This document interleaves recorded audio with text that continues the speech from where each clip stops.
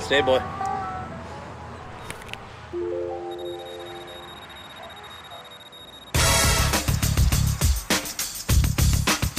Want to pay less for fuel? Sign up free at fuelrewards.com.